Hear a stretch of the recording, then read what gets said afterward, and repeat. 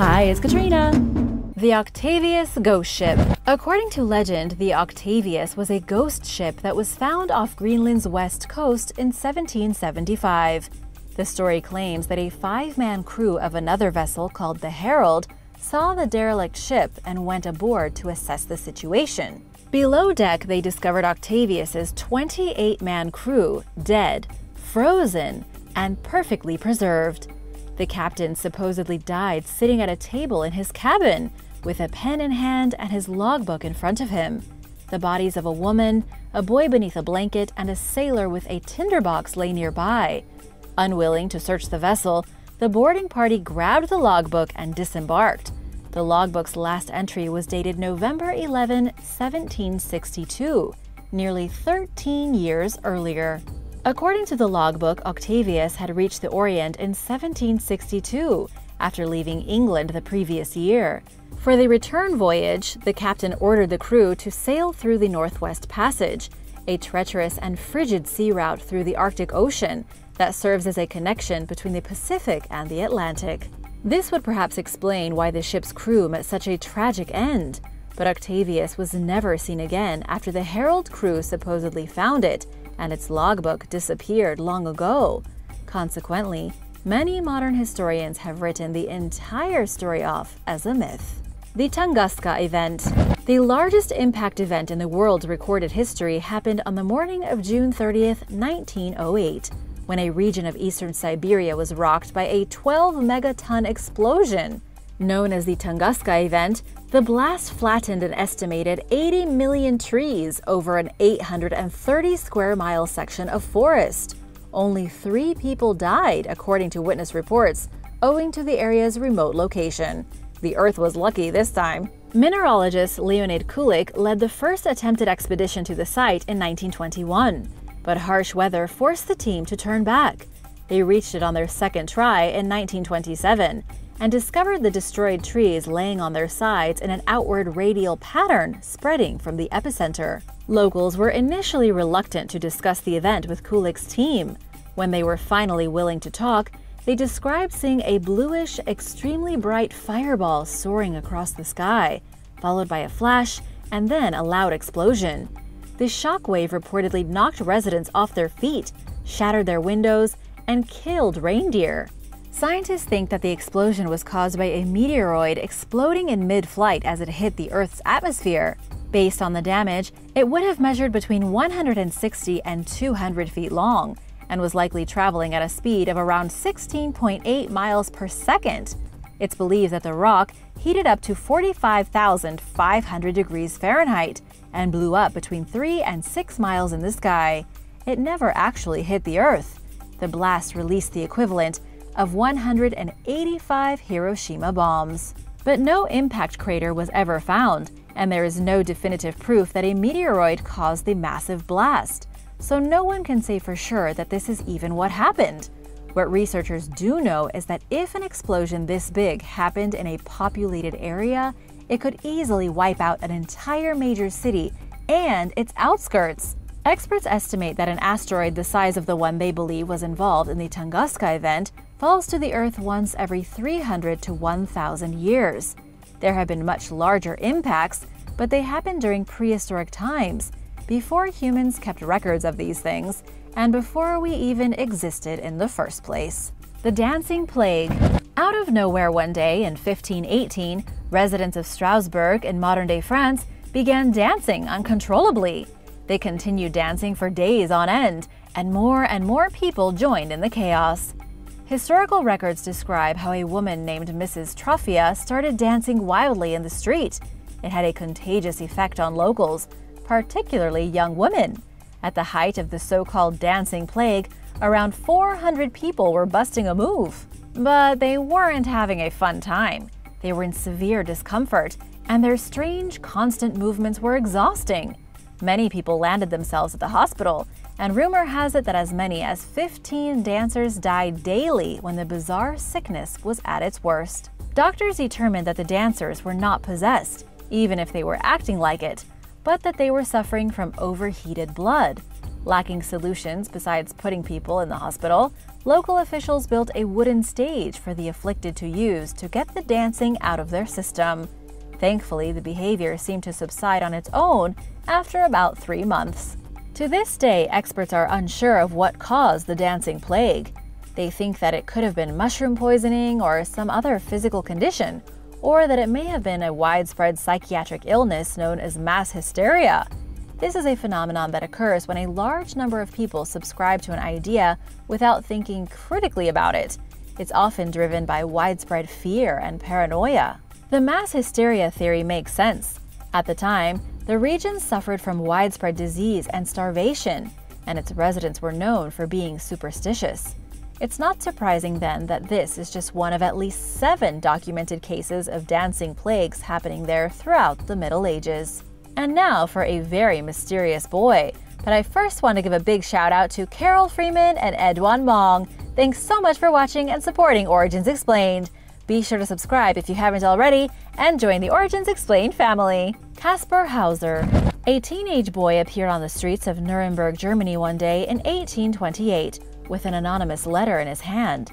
It stated that the boy had come into the person's custody as an infant and that the guardian had never allowed him to leave the house, not even once. Another letter in the youth's possession identified him as Caspar Hauser and claimed that the boy's father was a cavalryman who had died. While he appeared to be physically healthy, the boy seemed mentally impaired. Because Hauser provided no backstory about himself, police imprisoned him as a vagabond. Many people assumed that he was a feral child who had spent much of his life in the woods. He eventually opened up about his past, claiming that he spent his entire childhood confined to a dungeon alone. Hauser described his living quarters as a tiny cell with a straw bed. He said that he was given just two simple toys to play with and received only rye bread and water for nourishment. The boy supposedly came face to face with another human for the first time shortly before his release when a man visited his cell and taught him how to write his name. The visitor concealed his face the entire time. Locals supported Hauser financially and he was taken under the wing of a schoolmaster. By all appearances, the boy thrived later in life, although he was the target of several attempted murders. He was stabbed to death in 1833, five years after being discovered. Nobody ever figured out who Hauser really was or where he came from. To make matters worse, inconsistencies in his stories proved that he was a liar, making it even more difficult to distinguish fact from fiction. Where do you think Caspar Hauser really came from? Why did so many people try to kill him? Let me know your theories in the comments below. The Great Vowel Shift During the Middle Ages, British speakers dramatically changed the pronunciation of the English language. Known as the Great Vowel Shift, this period of transformation began around the year 1400 in southern England and continued until 1700. Throughout the process, the sound of all Middle English long vowels and some consonants became so different it had long-lasting implication for things like spelling, learning how to read, and understanding English texts from before or during the period. Experts can't seem to agree on what caused the Great Vowel Shift. In their attempts to figure it out, they look toward the 15th and 16th centuries, when the biggest changes happened. In the aftermath of the Black Death, people migrated rapidly from northern England to the southeastern part of the country. Some scholars believe that this may have caused a mixture of accents that brought on broader changes in the way of speaking. Other researchers theorize that the shift resulted from French words being incorporated into the English language. On a similar note, the middle classes developed a tendency to apply French pronunciation to English words. This stemmed from the English aristocracy's decision to switch from French to English. Consequently, the great vowel shift could have been caused by people overcorrecting their speech in a misguided attempt to sound more French. On the other hand, this hypercorrection may have resulted from anti French sentiments, prompting people to try to sound less French. But the plain and simple truth is that nobody really knows what led people to speak so differently that the English language sounds nothing like it used to. Who were the Sea Peoples? Civilization began spreading rapidly throughout the eastern Mediterranean over 3,000 years ago. The area was home to numerous advanced ancient cultures, including the Egyptians, the Hittites, the Greeks, and the Minoans. During the late Bronze Age collapse between 1200 and 900 BC, a mysterious group known only as the Sea Peoples supposedly terrorized the region, wreaking havoc on the Egyptians and other societies. But their identity remains a mystery to this day. This ruthless seafaring group did not leave behind any monuments or written records. Knowledge of their existence is based solely on inscriptions left behind by the cultures they ravaged. One 13th century carving describes a tribe of naval warriors that no local population stood a chance of defeating. Based on the lack of mentionings of the Sea People's origins, it seems as though the Egyptians knew where they came from. In other words, this information was probably common knowledge, so ancient writers saw no need to write it down. Either way, none of the ancient texts about the Sea Peoples talk about their roots, leaving modern day scholars to try answering this question on their own. The Egyptians described the group as northerners, suggesting that they may have come from Turkey, Sicily, or elsewhere in Europe. Some researchers have even theorized that the Sea Peoples were the Philistines, who were famously mentioned in the Bible for going to war with the ancient Israelites. In addition to not knowing where the civilization came from, experts have no idea what triggered them to abandon their homeland and adopt a lifestyle of raiding societies throughout the Mediterranean. Benjamin Kyle one day in August 2004, a Burger King employee found an unconscious middle aged man by the restaurant's dumpster in Richmond Hill, Georgia. He was naked, sunburned, covered in red ant bites, and had indentations in his head from blunt force trauma. The man was rushed to the hospital where he became known as the Burger King Doe because he didn't have any ID on him. He didn't know his name, claimed to have no idea how he ended up in Georgia, and was unable to think of a single person he knew. The confused patient, who called himself Benjamin Kyle, ended up in a care facility for the poor and homeless. Nurses routinely tried to help him get his memory back, but nothing he came up with led to his identity. Years went by, and fingerprints, DNA tests, and facial recognition technology failed to determine who he was. No one recognized his picture on TV. The mystery was finally solved in 2015 by a team of genetic genealogists.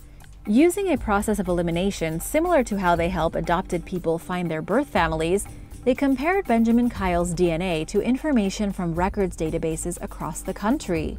His real name is William Burgess Powell. He's from Indiana and had cut ties with his family back in 1976 before abandoning his car, home, and other belongings and disappearing. Police found him living in Colorado, but soon enough, Powell had fallen off the radar again. His name disappeared from job records and other official documents after 1983. Naturally, Powell's family was stunned to hear that he was alive, but they welcomed him back to Indiana with open arms, and he's rebuilt his life in the hometown he doesn't really remember. While it's great that Powell has finally learned who he is, no one knows what went on during the decades long gap between his disappearance and when he was found outside Burger King. He doesn't remember, and there's no real way of knowing if those memories will ever return. The WOW signal. On August 15, 1977, the Big Ear Radio Telescope at Ohio State University detected a mysterious signal coming from the direction of the Sagittarius constellation. Known as the WOW signal, the 72 second radio burst was 30 times more powerful than the region's typical background radiation. Simply put, it seemed alien in nature, and some saw it as evidence that life exists outside our planet. It got its nickname after astronomer Jerry Ehman scribbled the word wow on a printout of the signal. Although researchers were able to determine the relative area that it originated from, they failed to pinpoint its exact location or what caused it. They ruled out several causes, including glitches and known natural sources such as highly magnetic rotating stars called pulsars. The signal's frequency was measured at 1420 MHz, which is the same frequency that hydrogen emits. This discovery further bolstered the theory that the WOW signal came from an artificial source. In other words, aliens. But not all experts agree that the signal's origins are extraterrestrial. Some think that there might be a rational explanation for it, and that there are probably natural causes behind it, such as hydrogen clouds or a star. In 2017, a team of scientists discovered new evidence about what may have caused the WOW signal. They found that at the time the signal was intercepted, two comets were passing through the same region in the sky. This could not only explain the signal itself, but also why the signal never repeated. The comets moved on in their orbits, so it would naturally be a one-time occurrence. But as plausible as this theory may seem, it remains unproven for now. Tree trunk coffin. In July of 2019, renovations at a golf course in Tetney, England revealed something shocking. While construction workers were revamping a stinky old pond at the golf course, they uncovered a wooden coffin from 4,000 years ago. According to a statement from the University of Sheffield, this was a sarcophagus that contained human remains, an old war axe, and bedding of plants meant to be a comfortable bed for the deceased. The coffin was created from a hollowed oak tree trunk and then buried underneath a mound of gravel. This type of burial was usually reserved for the most important members of society during the Bronze Age. Just like the amazing foundations that were uncovered in London, this ancient artifact had been hiding in plain view for decades. People had literally been shooting golf balls into the pond where the coffin was buried. Nobody knows who exactly was buried inside the coffin. The human remains were extremely decayed, and there isn't really written history from 4,000 years ago. All we know is that the grave probably belonged to a local chieftain.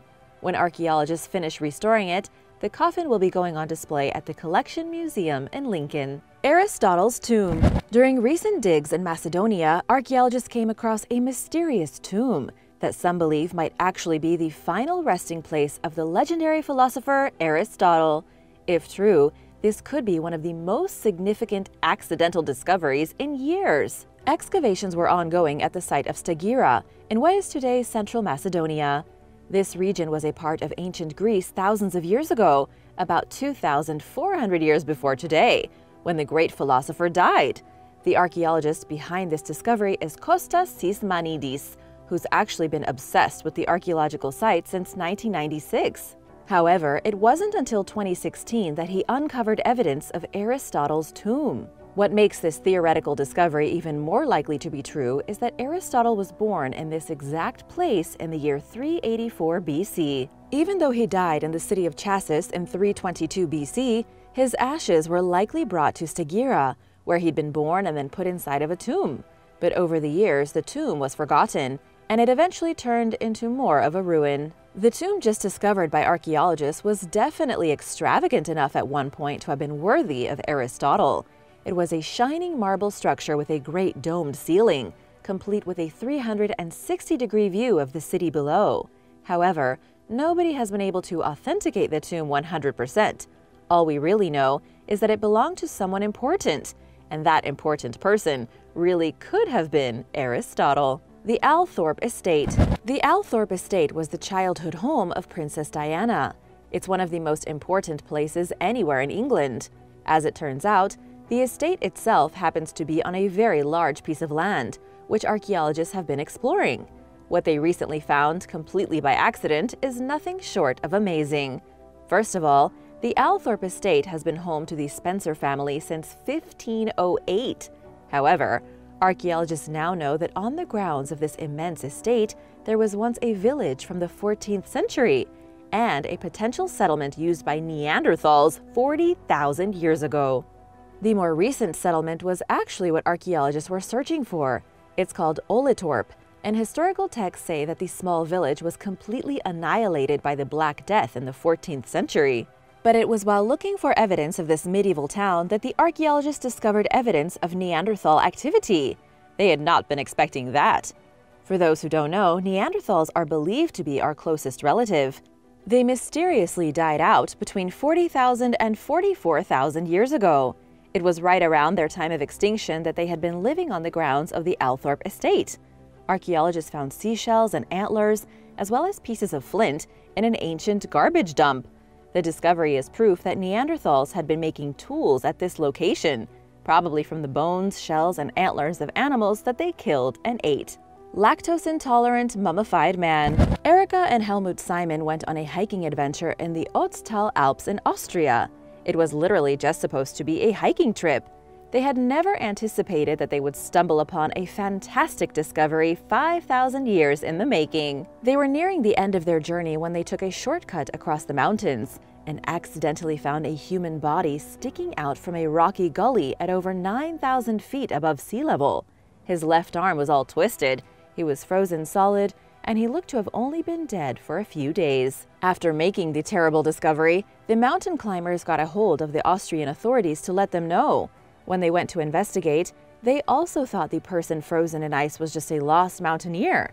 But as it turned out, this was a caveman, a literal ancient person who probably lived in caves 5,300 years ago. The authorities were suspicious when they realized he had been frozen with a flint dagger, a copper axe, and a container made from birch bark that had probably held his prehistoric lunch.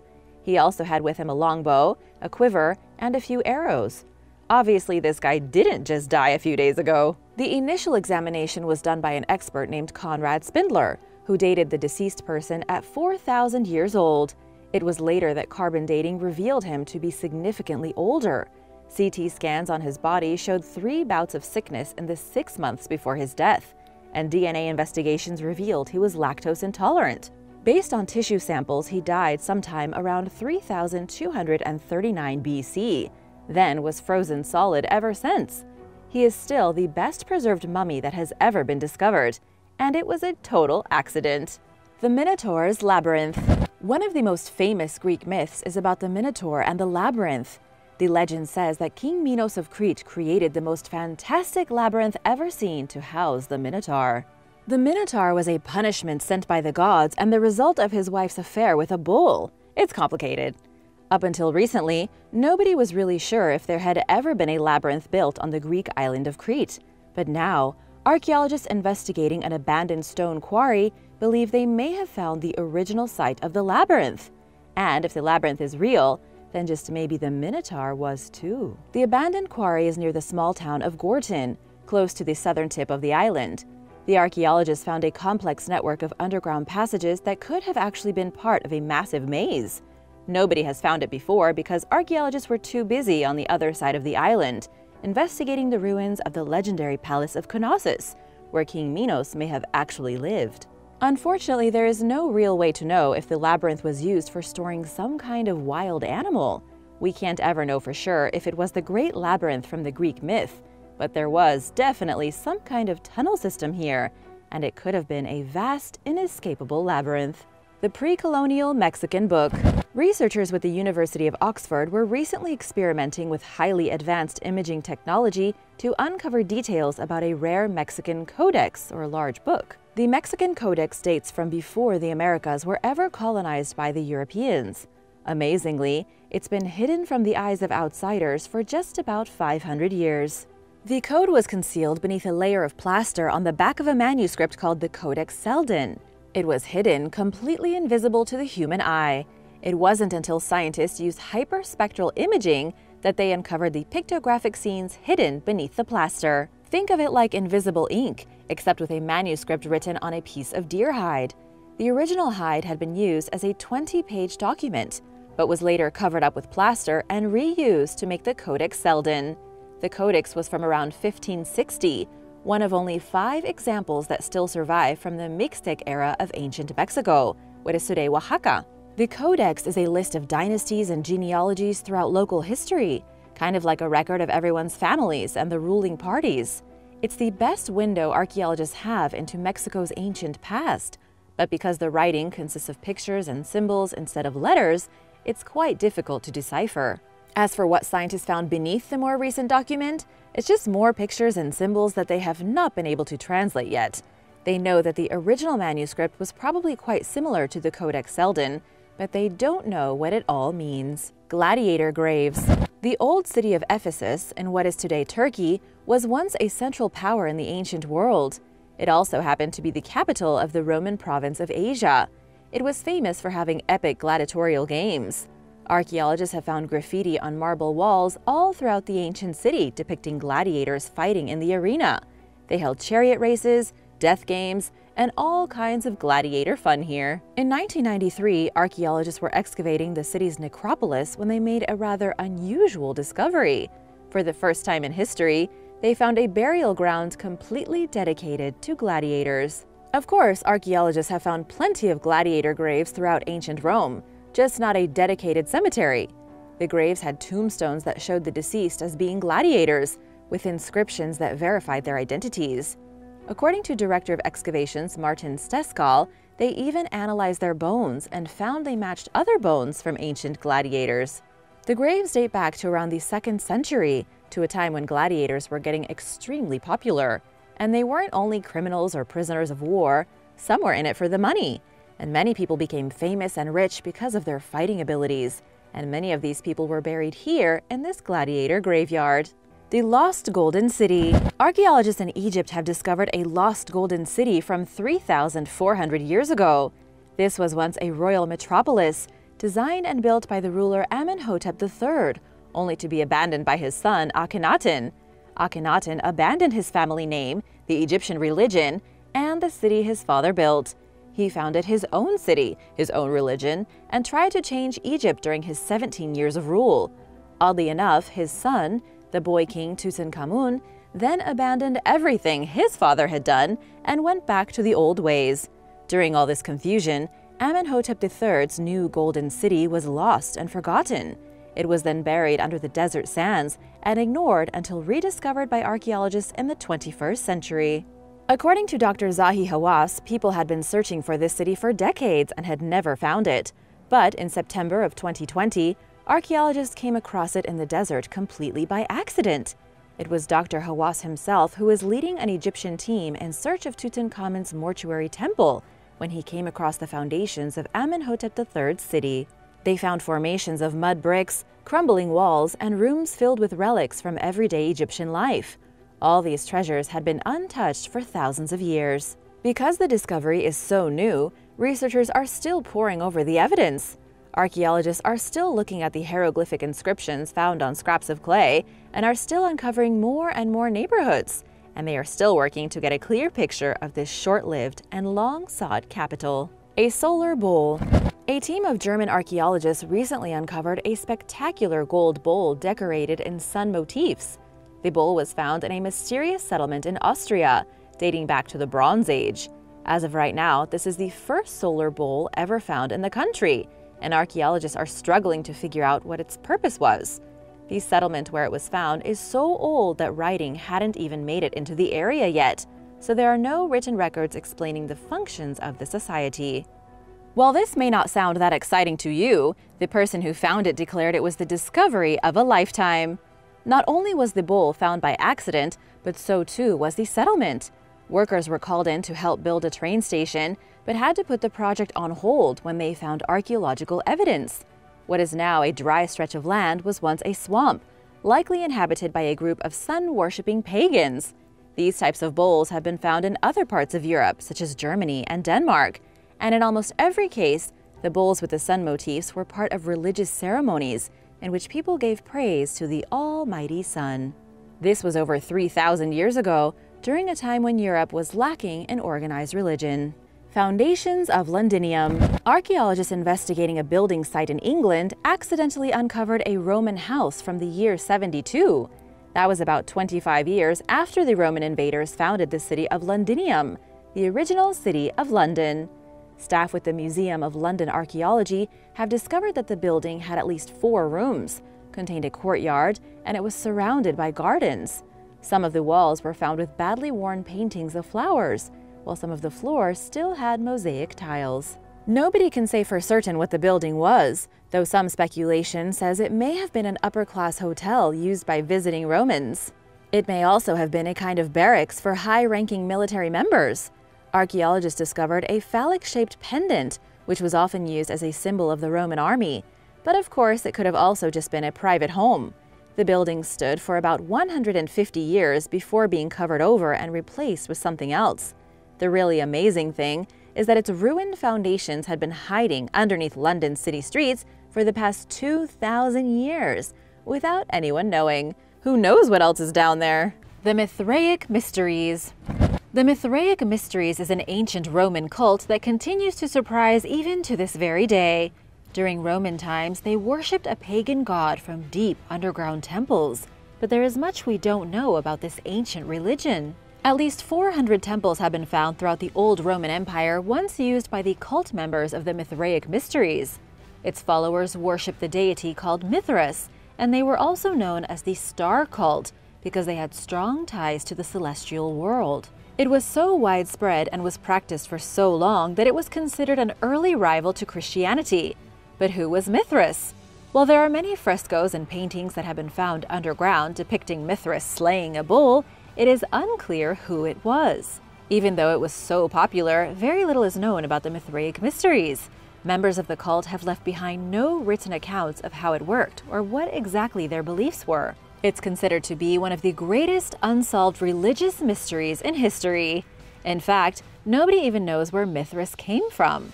Some believe it was based on a Persian god, some say Mithras is actually the Greek hero Perseus, and others claim Mithras is Orion.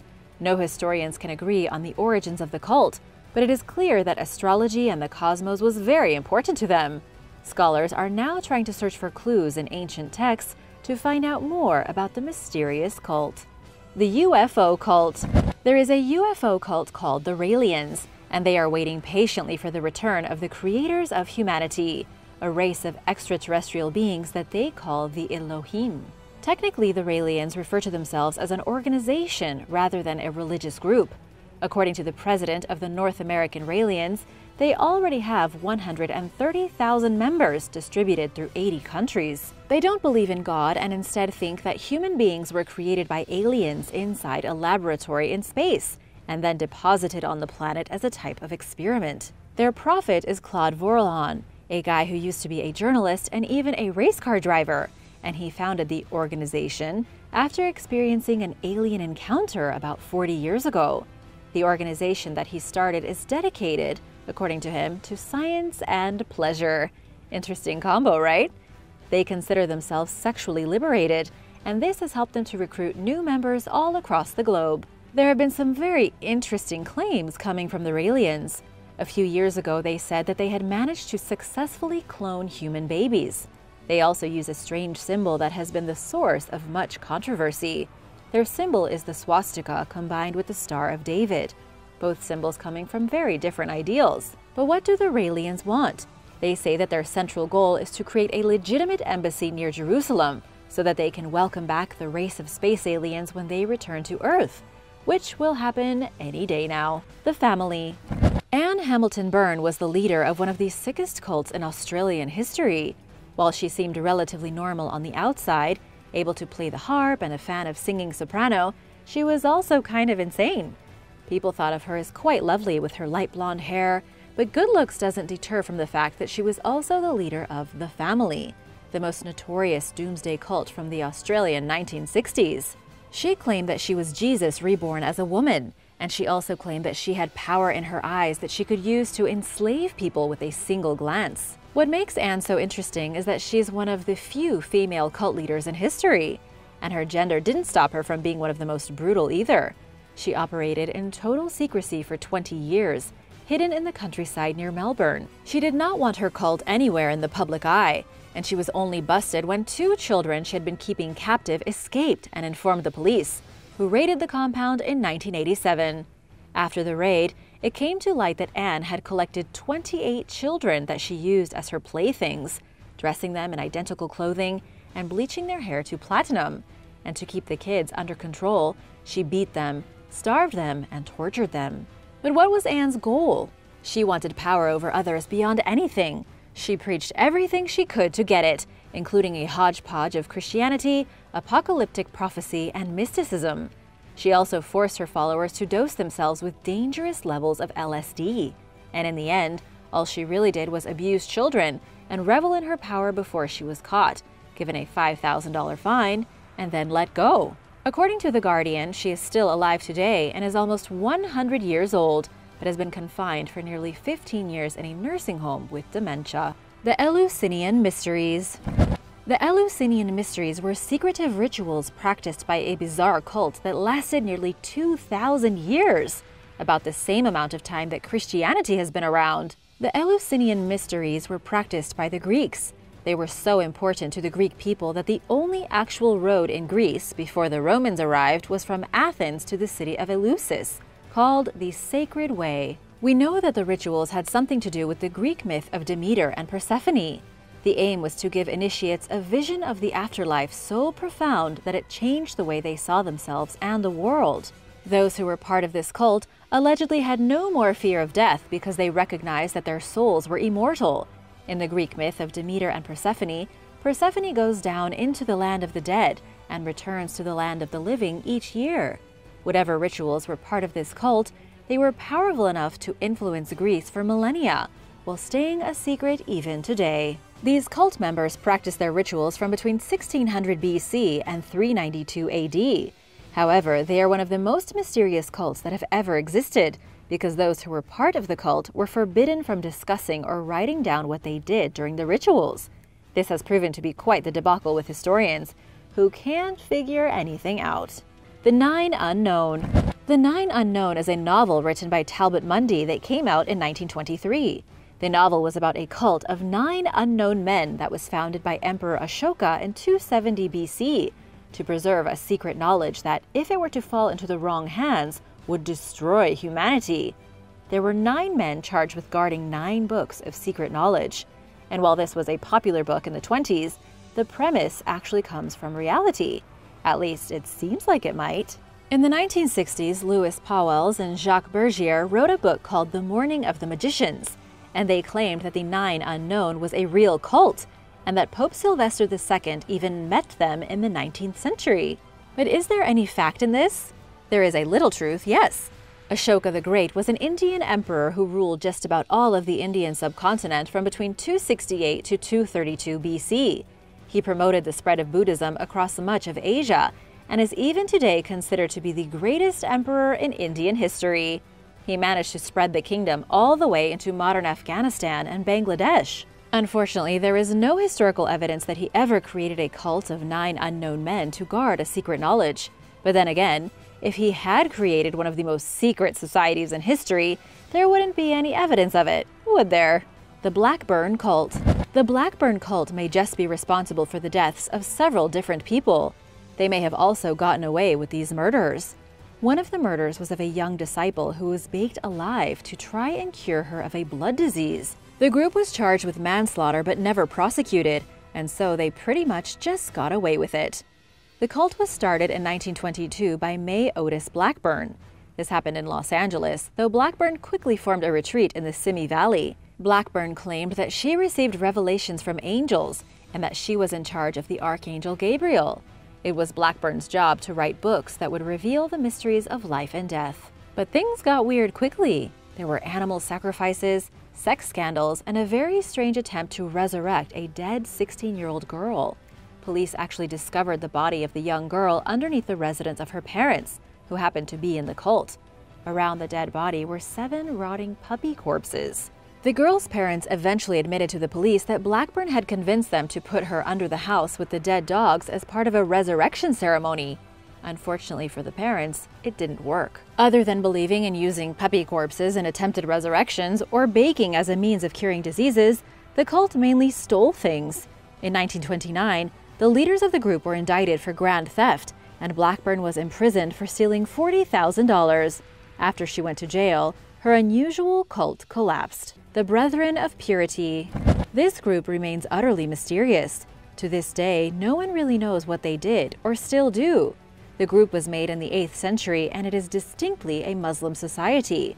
According to some, the group is a devout believer of Shi'ism, which is a branch of Muslim faith where the Prophet Muhammad's son-in-law, Ali, is the real successor to the throne. The group began in Barsa before it became Iraq, and was apparently formed by a group of philosophers. They were so in tune with their beliefs that they wrote epistles of the Brethren of Purity. And here's where things get a little weird, for despite the society being known and confirmed in regards to the book and certain other things, no confirmed members have ever been recorded. Because of that, it's actually unknown whether this group died out in one form or another, or whether they are still around today. One thing that is known, however, is that they had a distinct schedule as to where and when they would meet. They would meet at the beginning of the month, where they apparently just gave speeches and talked to one another. In the middle of the month, they would come together to gaze at the stars and discuss the cosmos, and at the end of the month, they would meet to recite hymns. The fact that we don't know all that much about the Brethren of Purity is likely why its name persists to this day. We don't know who they are or what they're doing. Heaven's Gate. Heaven's Gate was a notorious cult and one of the most devastating. The leader was Marshall Applewhite, who persuaded a group of 20 people from Oregon in 1975 to abandon their families and move to Colorado. He promised that an alien spacecraft would take them to the kingdom of heaven. He explained to his followers that the human body was nothing but a container that could be abandoned for a more realistic existence.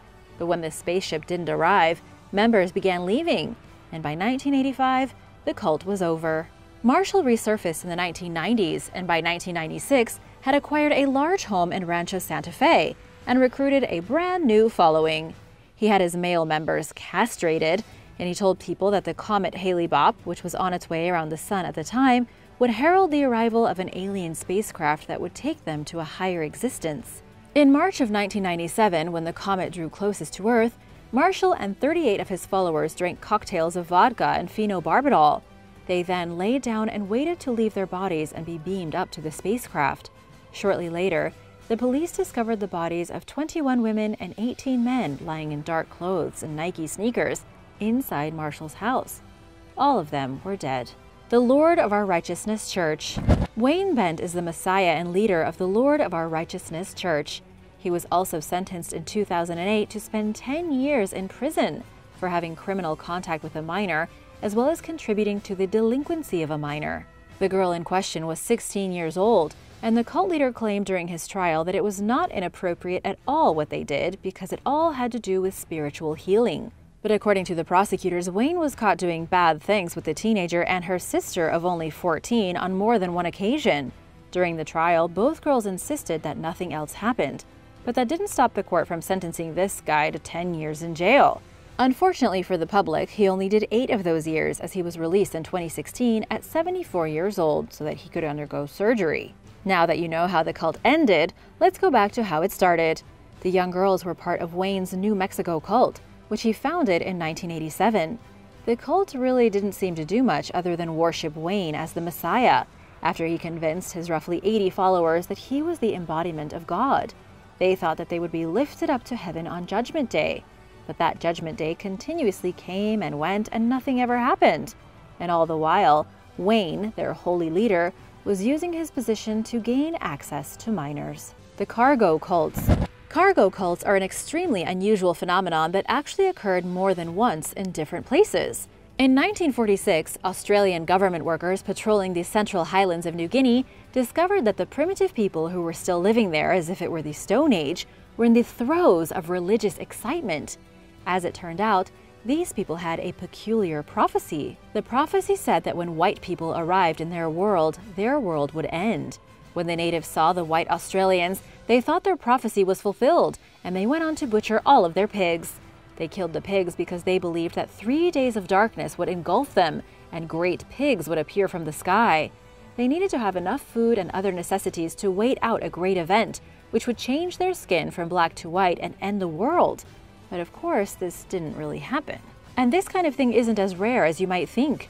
The scant contact with colonial civilizations in the 20th century resulted in a plethora of cargo cults throughout Melanesia, places like New Guinea, the Solomon Islands, and Fiji. Cargo cults adopted a belief system based on technologies that were found because of World War II.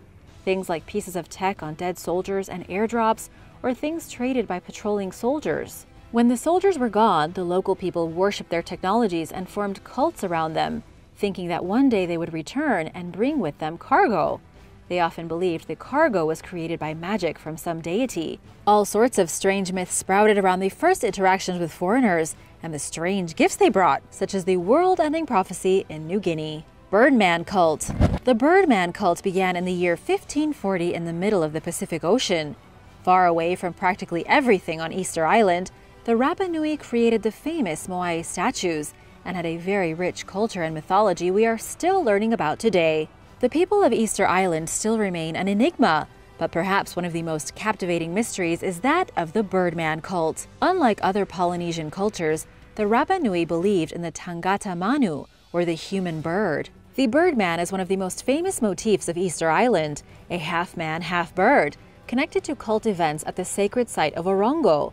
During times of strife, tribes held a competition to choose the ruler of the entire island.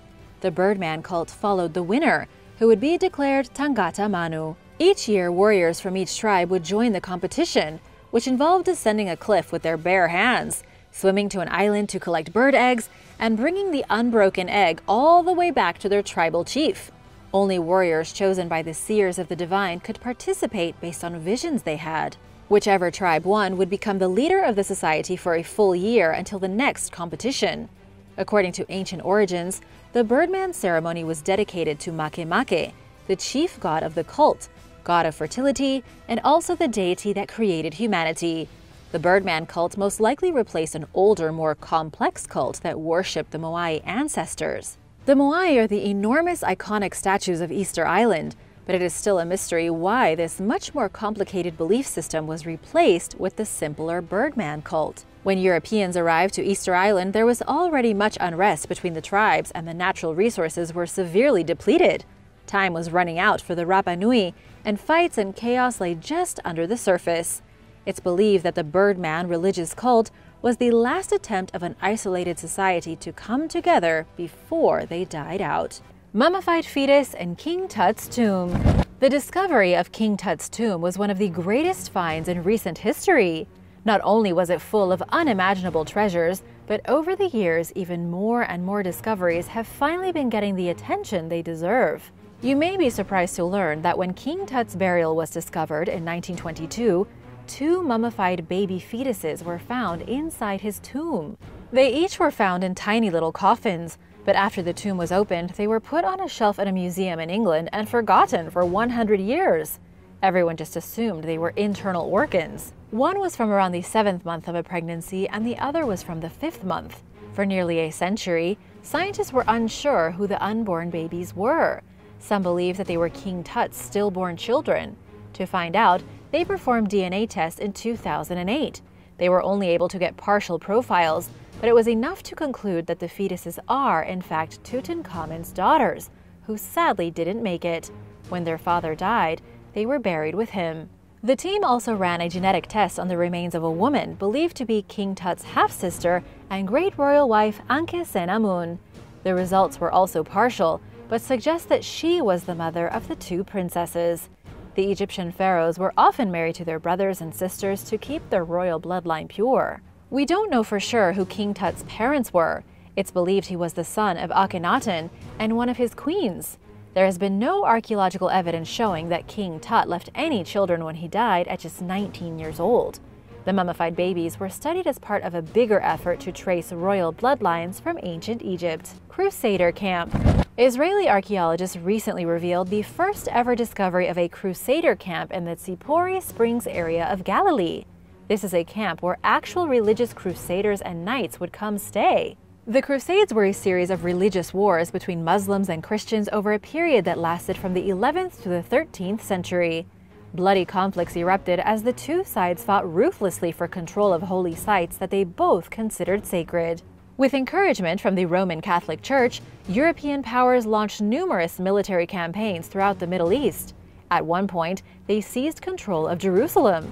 Evidence from the transition to Christian rule is scarce, making the recent discovery especially significant. Tzipori Springs was home to numerous Christian and Muslim camps over a 125-year period, it is here that Christian forces stayed for two long months, leading up to the Battle of Hattin in 1187, when Muslim troops fighting under Sultan Saladin reconquered the area.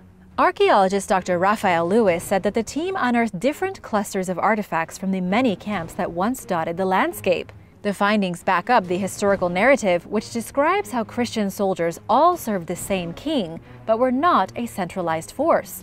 Lewis further explained that the material culture of the artifacts improved as they got closer to the springs, indicating that crusaders of higher ranking social status got the best campsites near the water.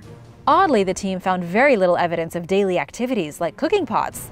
They think that when the fighters left their camps, they took certain items with them back to their permanent settlements. The discoveries at Tzipori Springs mark a good first step toward learning more about Crusader camps. Ice needle designs. Scientists have long known that thawing and freezing cycles in certain cold parts of the world create beautiful patterns on the ground. Rocks rearrange themselves into rings, lines, swirls, and other designs that look man-made, but are entirely natural. Until recently, researchers struggled to understand how and why this happens. A team of experts claims to have finally solved the mystery, which shows that when ice needles form, rocks are pushed into concentrated areas, causing the patterns to form. The study builds on a century's worth of speculation that the relationship between ice needles and rocks had something to do with the designs. Ice needles result from an imbalance between the temperature of wet soil and the temperature of the air, which draws moisture to the surface. When the water molecules hit the frigid air, they freeze into needle-like shapes. Researchers think the findings could be useful for studying a similar phenomenon on Mars. Images captured by the Curiosity rover show patterns that look like they were created by a subtler version of the process that happens here on Earth. There is not much water in the Martian atmosphere, but scientists have detected some evidence of tiny ice crystals in the soil. The first dinosaurs to live in herds. Nearly 200 million years ago, dozens of dinosaurs died together in the southern Patagonian region of modern-day Argentina. Scientists just announced their discovery of the site, which ultimately yielded over 100 fossilized dinosaur eggs and the remains of around 80 juvenile and adult Mussaurus dinosaurs. Equipped with a long neck and tail and a small head, Mussaurus grew up to 20 feet long and weighed as much as one and a half tons. Newborns walked on four legs, but became bipedal by the time they reached adulthood. Mussaurus was one of the larger species that existed during the Jurassic period, which came before the era of the really gigantic dinos known as titanosaurs. These ancient Jurassic plant eaters died altogether for reasons that are unclear. A recent study of the fossils theorizes that the reptiles may have died as the result of drought and were buried by wind-blown dust. Describing the discovery as one of a kind, Paleontologist Diego Pol said that the site contains clear evidence that early long-necked dinosaurs were social animals who lived in herds. In a phenomenon known as age segregation, the fossils were grouped by age. Hatchlings and eggs were in one area, while juveniles were in another, and adults were alone or in pairs. This shows that Mussaurus had a complex social structure, with adults that played different roles, including looking after young and foraging for food. Until now, the oldest evidence of dinosaur herding behavior dated back to 150 million years ago, making Mussaurus by far the earliest known dinosaur to live in groups. Skeletons beneath a pub. While demolishing a former pub in the Irish city of Cork recently, workers found a partial human skeleton. The local police, coroner, and city archaeologist Ciara Brett were called to the scene, where they determined that the bones were historic in nature not the result of a recent crime, and turned the job over to archaeologists. Over the following weeks, the team dug up the fragmented remains of five more people. In an interview with RTE Radio's Morning Ireland show, Brett said that the skeletons predate the 19th century building at the site, and that she thinks they are from the 18th century or earlier. The only way to know for sure is to radiocarbon date the bones, which is in the works but could take months to complete. An archaeologist who specializes in bones will also examine the skeletons. It's one of those situations where only time will tell if there's a fascinating story attached to the individuals who were found under the pub, or if they were ordinary people whose remains can help paint a more detailed picture of what day-to-day -day life was like during their time. Banana-colored catfish. Martin Glatz is an experienced angler who's caught many catfish throughout his lifetime. But even this seasoned pro was surprised when he caught an enormous, bright yellow Wells catfish while fishing in the Netherlands. Something began tugging on the man's fishing line, and he could tell that he was in for a fight with whatever it was. Once Glatz got a glimpse of the creature's vivid coloring, he realized that the fish he was reeling in wasn't just big, it was exceptionally rare. Wells catfish are typically greenish brown to black in color, depending on the type of water they're in. The specimen that Glatz captured likely has a genetic disorder called leucism, which causes reduced skin and hair pigment. It's been observed among plenty of different animals, but is not common. After all, Glatz has been fishing for most of his life, and this was the first time he ever saw a leucistic fish. He took a few photos with the catch and released it back into the water, where it will hopefully thrive despite being at a disadvantage among other creatures due to its bright hue. Have you ever seen a creature with leucism? Let me know in the comments below. A really weird prehistoric animal. Last year, news headlines around the world reported the discovery of a hummingbird-sized prehistoric creature encased in a hunk of amber. The animal died 99 million years ago in what is now Myanmar. It resembles a bizarre cross between a bird and a dinosaur. And at first, scientists thought it was a dinosaur, perhaps the smallest one in the world. But many experts were skeptical of this assumption and a study identifying the creature as a dinosaur was retracted late last year when researchers began to suspect that maybe they had gotten it wrong. New research has found that the animal is a prehistoric lizard, but not a dinosaur. Scientists discovered a new fossil of the same species and noticed that its beak was less bird-like than the subject of the first study. As it turns out, the original specimen's snout had been disfigured as the amber around it hardened, giving it a more bird-like appearance than it naturally had. Study co-author Juan Diego Daza said in a press release that the really weird animal, as he described it, is unlike any modern lizard. He further explained that many lizards emerged into existence during that time period, but they hadn't evolved to look like the lizards we're familiar with today. This actually helps to explain why scientists mistook the creature for a dinosaur. Early lizards had a mixture of characteristics that we tend to associate with other groups of animals, making it difficult even for the experts to identify properly. The Earth has slowed down. The average Earth day is 86,400 seconds long, but the speed at which the world spins isn't as consistent as people tend to think. Numerous factors affect the planet's rotation, including the oceans, atmosphere, and activity in the core.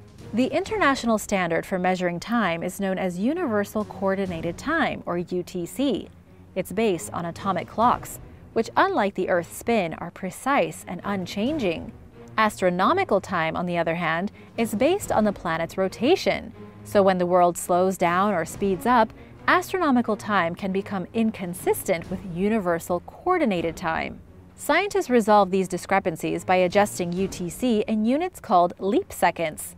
The last time they did this was at the very end of New Year's Eve in 2016 when they added one second onto the year. This isn't really a big deal. In fact, since 1972, scientists have added a leap second to UTC once every 18 months on average, but they have never added what's known as a negative leap second, which is what it sounds like, a reduction of time. Well, as they say, there's a first time for everything, and that time may come relatively soon. In 2020, the world sped up, breaking the record for the planet's shortest day 28 times. The shortest day last year was 1.46 milliseconds less than the average of 86,400 seconds.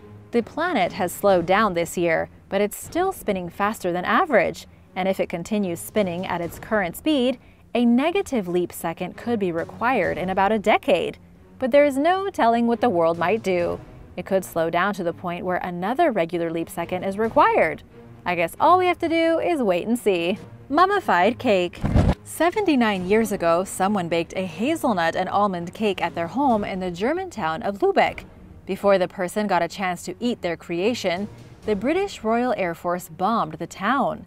The baker's apartment building was hit and collapsed into its cellar. The cake somehow avoided being crushed and was preserved by the intense heat of the blast, which carbonized the dessert. It was discovered in its bizarrely intact state by workers earlier this year. You heard correctly, a mummified cake. After the air raid, people in Lübeck didn't bother to dig up their buried cellars. Instead, they built new houses over the destroyed ones. While the decades-old cake is no longer edible, it makes for a fascinating artifact. Experts have cleaned it up and are working to identify any dangerous substances on the blackened baked good that could react badly to chemicals they plan to use to preserve it. Sacrificial site in Peru. Finding one set of skeletal remains is fascinating for archaeologists, but to find the remains of 140 children between the ages of 5 and 14 was a shocking discovery made in Peru. The pre-Columbian burial site located near the city of Trujillo dates back more than 550 years. Believed to be one of the largest child sacrifices in history, the bodies were found at a site known as Las Llamas. All of the bodies had lesions on their sternums, which experts believe came from a ceremonial knife. Found at the site with the bodies were over 200 juvenile llamas, adding further evidence to the idea that they held ritualistic significance and that they were sacrificed on the same day as the children. Red pigment was also found on the faces of many of the children. Those who had the wounds on their bones suffered the pain of having their rib cages dislocated, leading researchers to believe it was done to extract their hearts as a symbol of sacrifice. The children were healthy, proving they were well nourished when they died. Even more chilling was the discovery of 550 year old small footprints that indicate the children were marched to the site. Dating back to the ancient Chimu people, these sacrifices are believed to have been performed to appease the gods after El Nino caused massive floods in the area. Sacrifices of this kind weren't uncommon. Similar to the site in Peru, the bodies of 42 sacrificed children were found at the Aztecs Templo Mayor. But this discovery, although very creepy, is one of history's largest human sacrifices. Thanks for watching! Remember to subscribe if you haven't already for more incredible and scary discoveries. See you next time! Bye!